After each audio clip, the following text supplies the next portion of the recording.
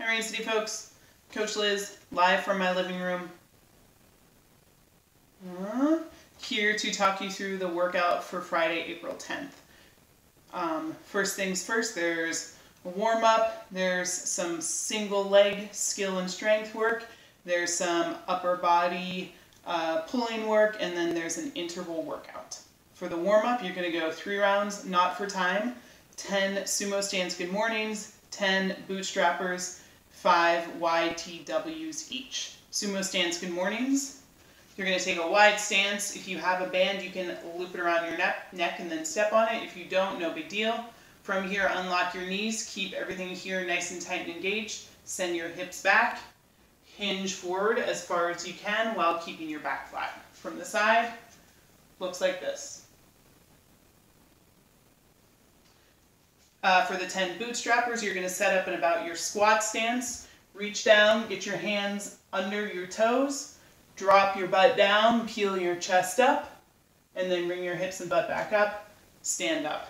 And then for the YTWs, um, you're going to hinge, set your shoulders at neutral, so not here, but not here. Nice neutral, five Ys, like you're making a Y with your arms five T's, and then five W's.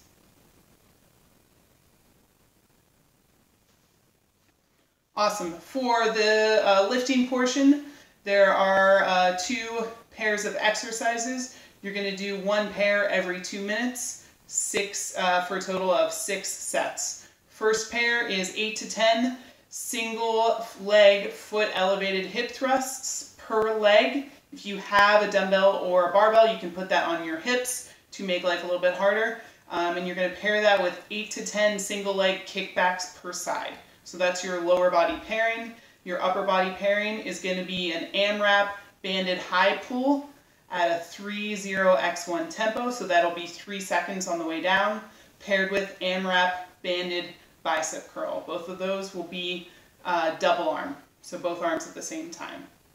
And then finally, the sweat portion of the workout, four rounds for total reps, two minutes of work, one minute of rest. The two minutes of work starts with 40 single arm deadlifts. That's going to be 20 per arm. Um, when you do the single leg deadlifts, you can set up dumbbell in the middle like so, or dumbbell to the side like so, as long as you're able to do that without rotating. This way is probably a little bit easier. Um, after you finish the buy-in of the 40 single arm deadlifts, you're going to do as many single arm thrusters in the remaining time as possible. Um, each set, each two minute interval, you start back from the beginning with 40 single arm deadlifts. Enjoy!